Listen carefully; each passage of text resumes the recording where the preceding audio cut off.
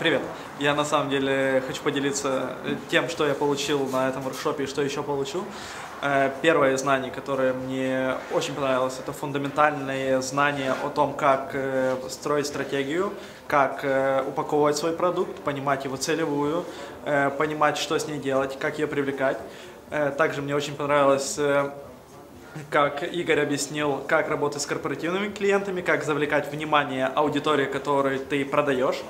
И что для этого нужно сделать? Так что да, э, очень рад э, поучаствовать в этом, познакомиться с новыми людьми и получить новые знания.